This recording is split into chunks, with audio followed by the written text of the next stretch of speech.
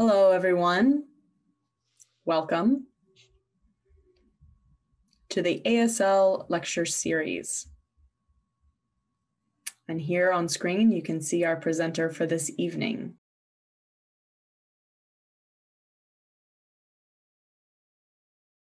The ASL lecture series likes to provide professional communication development to be able to see professional ASL and also to be exposed to various parts of the culture. We hope that our audiences are in- inspired to learn more about ASL and deaf culture through these experiences that our presenters share with you. We also know that there is diversity in ASL between different regions and dialects. This lecture series provides more formal ASL, which is a chance for you as an audience member to see how ASL is used in more formal and academic settings, and we welcome you to this event. I would like to introduce myself. My name is Joseph Hill. I am an associate professor here at RIT, and I'm in the Department of ASL slash interpreter education at the College of NTID. I also serve as an assistant dean for the NTID faculty recruitment and retention position. I've been here for about six years and I've really enjoyed my tenure here. I would like to describe the background that I'm in. I have blue curtains behind me. I have black hair parted to the side, brown skin, a beard and mustache. I have a button down blue shirt, opened at the top, and on top of that, I have a gray vest. I would now like to introduce our presenter for the evening, Korian Thomas, who goes by Koko.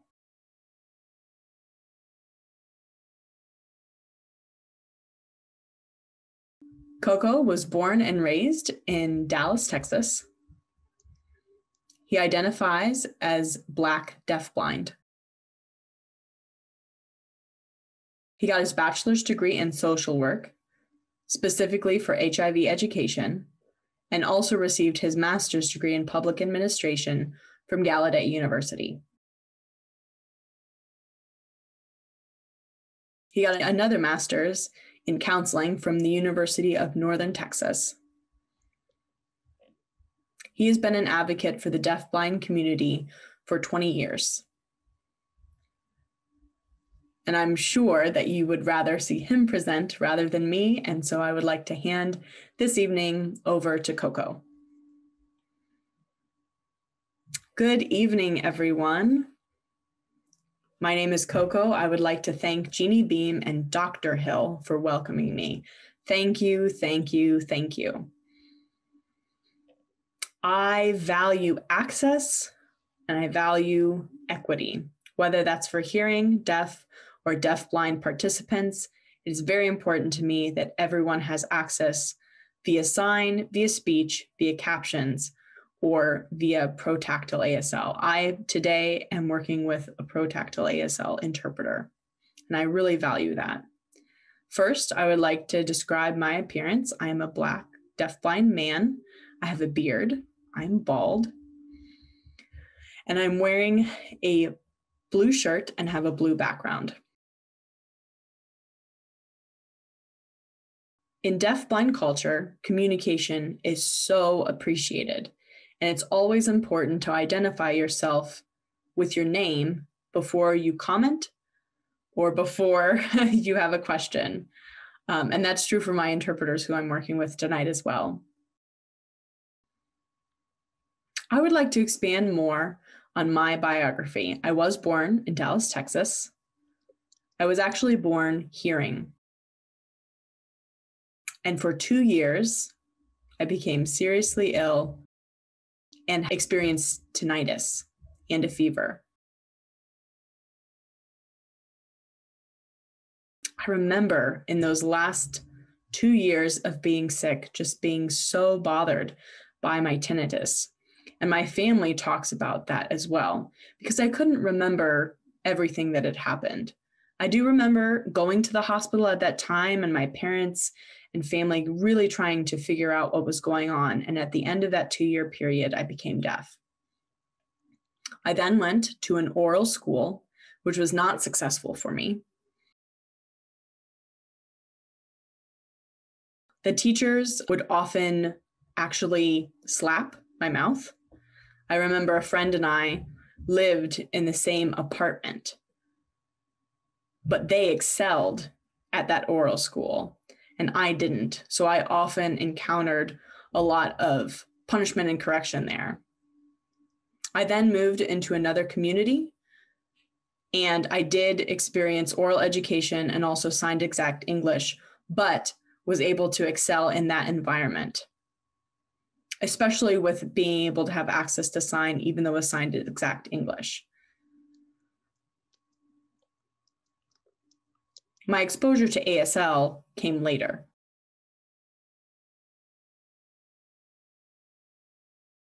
Growing up, I did not know that I actually had a visual problem. Occasionally, there would be anomalies um, that I didn't notice, and my family thought that that could be corrected through glasses. Um, and so I grew up that way. I learned how to drive, and I kept having some kind of barriers and a couple close calls. And so my family said, you know what, no more driving at night. But you can still drive during the daytime. If it's the night, don't drive. So I started driving only in the daytime, making sure I got home before it was too dark, etc.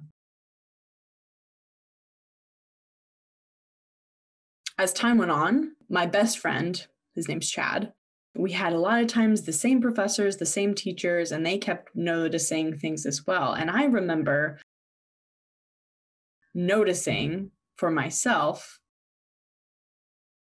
a lot of similar structures and patterns happening where people were always trying to get my attention.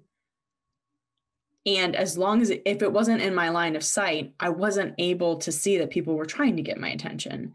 And so one of my teachers said, You really need to get a more in depth eye exam.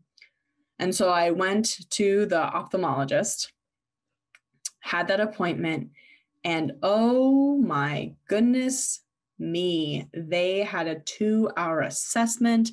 There was dilation, there was all kinds of things, and they did all of these tests to really examine my entire eye and all of the various things could, could be happening. Could i see from left to right? Could i see up and down etc after that two hour exam i was diagnosed with usher syndrome. And at that time i didn't know what usher syndrome was and to really give a basic explanation of it the doctor simply said you are blind and for me at that time, to hear that I was blind was a, a huge blow. And I remember the time just after I had been diagnosed, I was shocked. Um, I did a lot of crying during that time. My friends were very supportive, but they didn't know necessarily much about Usher syndrome as well. And so my family, my friends got together and really did some research um, about what that was. And it was really hard for me to sleep at that time.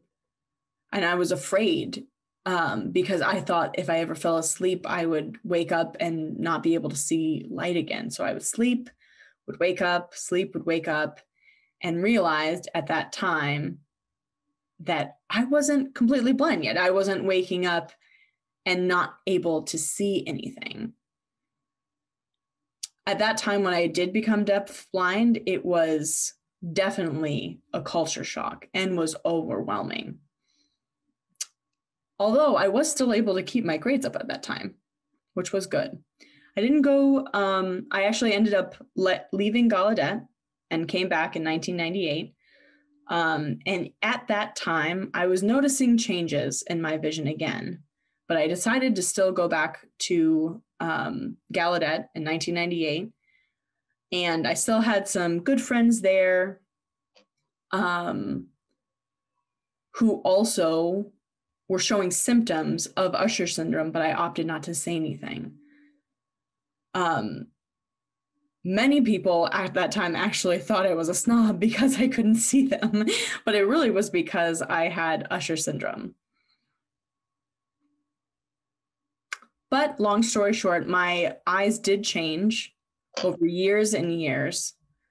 And rather now than saying I have Usher syndrome, I now identify as deafblind. During my first master's degree, I did a lot more um, research to help myself be more aware of what the deafblind culture looked like and also what um, visual culture was like. And Usher syndrome really falls under blindness, but I just educated myself and was able then to grow my pride as a deafblind person and my self esteem.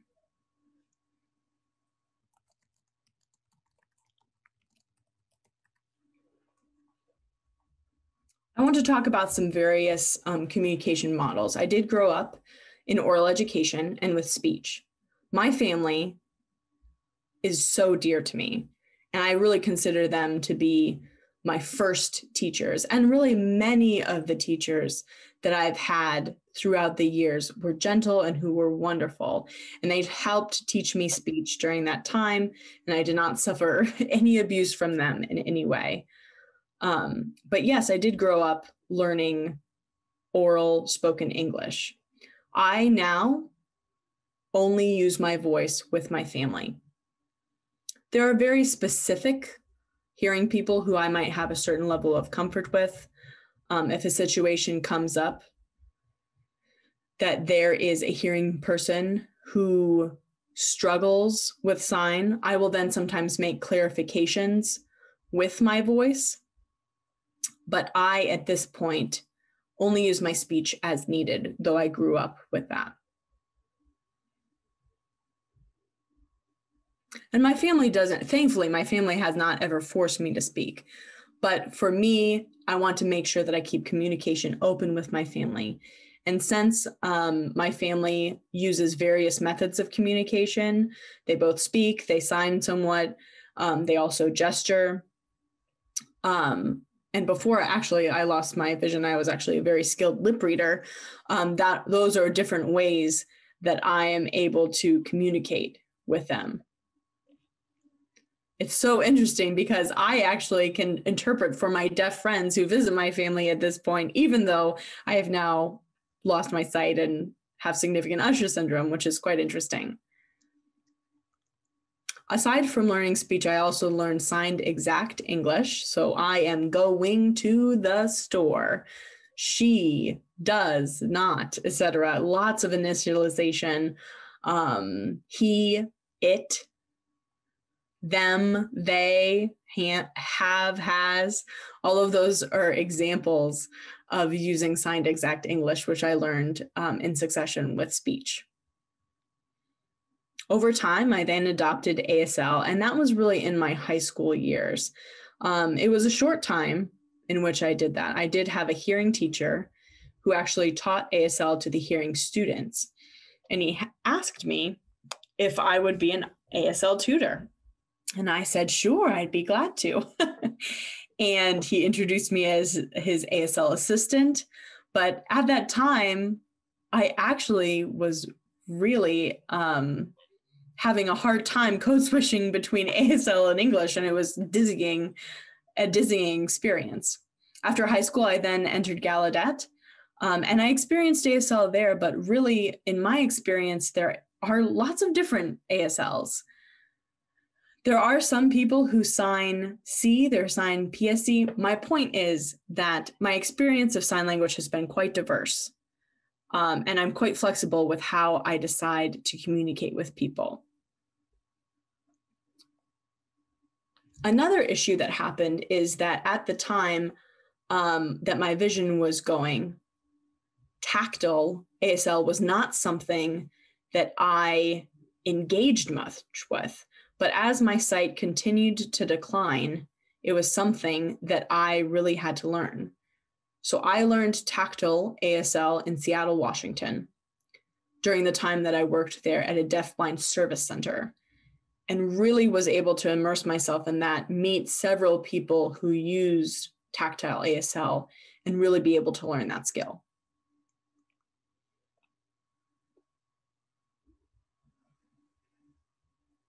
I then learned protactile ASL, so PTASL. And I want to make sure that I explain clearly the differences between tactile ASL and protactile ASL. All of us know that ASL is a language here in America. But some states, depending on where you were raised, so my home state of Texas, has actually a very strong oral and signed exact English education community. There are many layers to that. But my point in that, American Sign Language um, is used in most states and most areas around the US. So tactile, or ASL, I should say, has five parameters. Tactile ASL then adds another, in a sense, parameter or factor of hand to hand contact. Protactile ASL, on the other hand, you maybe you might notice that it's very close to tactile ASL. But protactile ASL has seven parameters. So I just want to compare protactile ASL and ASL for now. We don't have to go too much in depth, but I do want to make sure this explanation is clear. So ASL has air space, right? So for example, pointing or indexing, tactile ASL, um, you would be holding on to the person's finger and following where they're pointing, but it's still confusing. And for me, as a person who still has some residual sight left, I would be able to maybe follow that, but it's still confusing. Now, for protactile ASL, rather than putting that space in the air, it becomes actual tactile space on my body. So, one example of this is a subgroup of contact space, which is called reference space, which is called point to point. So, like if it's on myself, I go from point A to point B. So, if you're role shifting, like for example, if different people are speaking, you might indicate that on different parts of your body rather than just shifting in space. There's another layer to that as well, because there's tactile ASL and then there's haptics. And those two things were combined to be part of protactile ASL.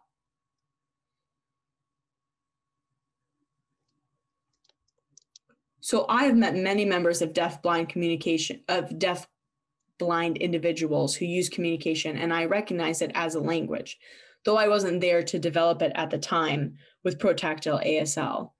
But if you look at the deaf blind, blind communities, most of them use ASL along with um, protactile habits. I'm right now signing to you ASL, but if I sign protactile ASL, the interpreter who's looking on the screen might not understand me. So I try to sign ASL in this. So protactile ASL usually um, should be included in interpreting programs because right now not many interpreters might be familiar with that. But I want to make sure that that description of protactile ASL is clear, correct? I want to make sure the interpreter's caught up.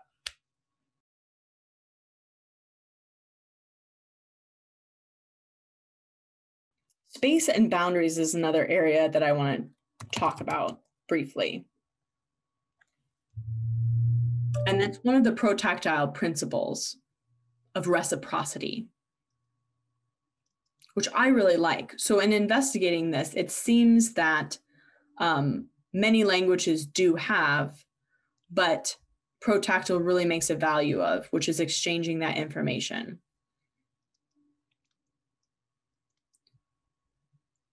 This is not about critique. Reciprocity theory is a very positive approach to communication. So, spaces and boundaries, in my experience, and then looking back, have been a huge part of my communication. And I have experienced um, much oppression in my life. Um, looking back on my experience as a deafblind person and seeing those points at which I felt barriers to expressing myself, I really had to look back and think about my close friends who were there during all those times that I knew they were supportive of me and what that looked like. And that wasn't always true of all the members of the communities I was part of.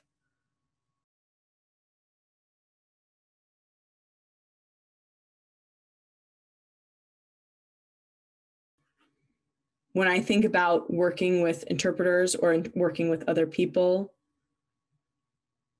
it's important to have that reciprocity and not have a one way communication.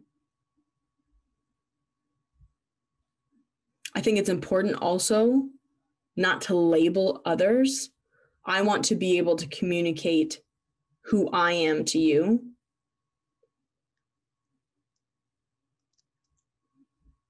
And I think an important thing is to educate, educate and advocate, and make sure that we have clear information um, to give to others. Deaf blindness is not a disability for example, that's a um, that's a stereotype that we need to avoid. Um, another stereotype might be that deaf blindness is a um, mental health issue, since historically, deaf blind individuals were placed in institutions um, by hearing individuals, rather than realizing that deaf blindness has a language and is not a mental health issue, even though ment- even though deafblind individuals can have mental illnesses. The biggest barrier to deafblind individuals is their access to communication. To communication.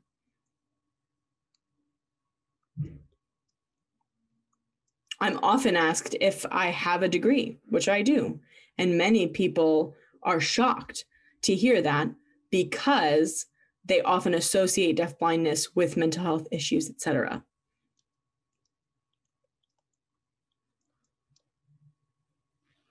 It's important for us to think about those space and boundaries.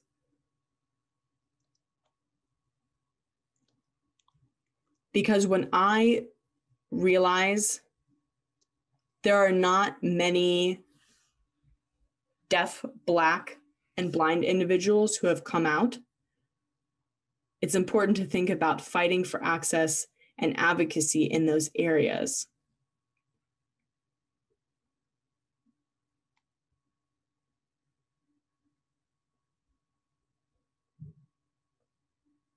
It's important not to judge. And I want to make sure that people know that I value diversity and equity. And I look out, and a lot of times there are white deaf individuals who have excelled or white deaf-blind individuals who have excelled. And I look out and say, where are our Black deaf-blind individuals who are excelling out in the world? And oftentimes, those Black deaf-blind individuals are afraid to come forward with um, maybe blindness or other things because they're worried about being stigmatized as having mental health issues. And so it's so important for us to visibly expose and educate others in those issues so that we're able to see more people of color in the deafblind communities more visibly. So, space and boundaries. If we really want to exchange and share information it's not uh, anyone's place to judge or critique that process. It's not. We can allow the person to self assess and to make those decisions for themselves.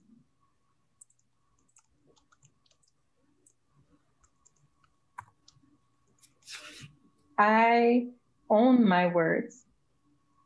I look back and I can reflect um, as a person that has Usher syndrome and what has been my part in this. So Koko can see or Koko can do this. That's where maybe more education is needed. When I came out as a deafblind person, my perspective really changed. And it was important to educate and to exchange information related to my journey as well.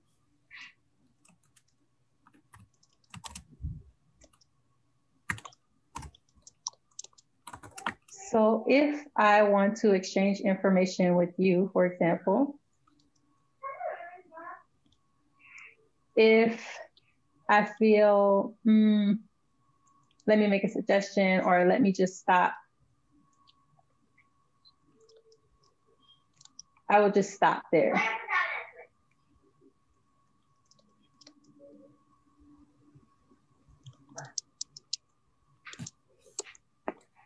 If I'm sharing information and it's related to someone's story, which is not my own personal story. Let's let's give an example here. If we are exchanging information and my interpreter is sharing with me something that is confidential, it's not my place to share that. If I'm curious about something, I need to go ahead and assert myself and ask the question. Ask that person directly, not go to someone else and ask about this person. So that's one example. So when we're talking about access and we're talking about friends and people who know an individual or speaking in general, and we're thinking about a deaf blind person, and their access.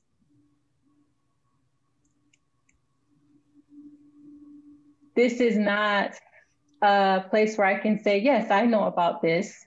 I know what their access needs are.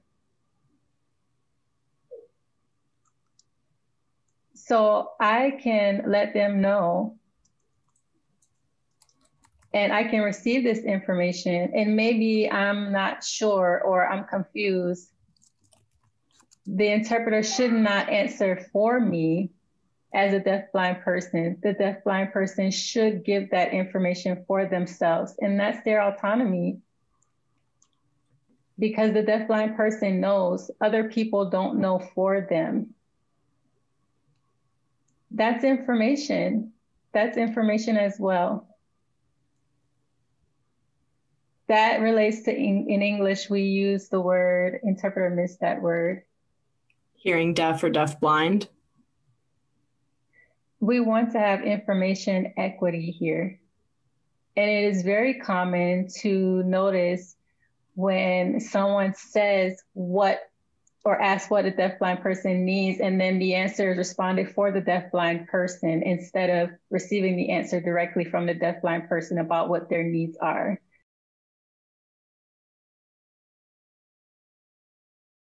So, one of my favorite topics here, and that's very dear to my heart, is culture. Culture and having access to our culture uh, with our families, for example, it doesn't matter, but the point is to respect culture.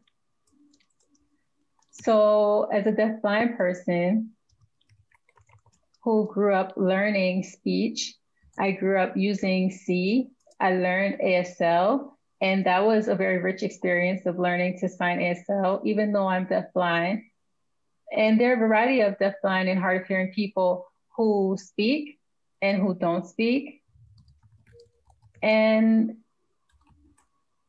sometimes we think, you know, about deafblind people and, and having hard of hearing abilities or having different uh, levels of vision and that really opens our awareness that there's a diverse uh, backgrounds and experiences within the deafblind community.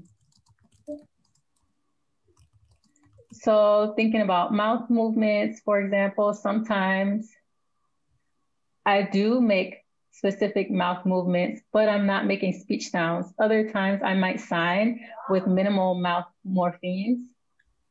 Sometimes I'm emotional, I'm happy, and I, I express uh, myself differently using specific mouth morphemes or not. So a lot of people have least about uh, deaf blindness and the and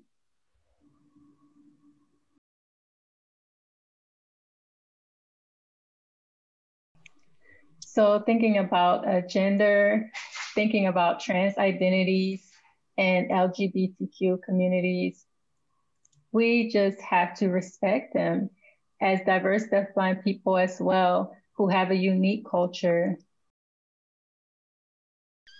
Thank you so much. And now it appears it's time for us to wrap up our event. We want to thank you again for your time for sharing your knowledge and your experiences with us. Thank you.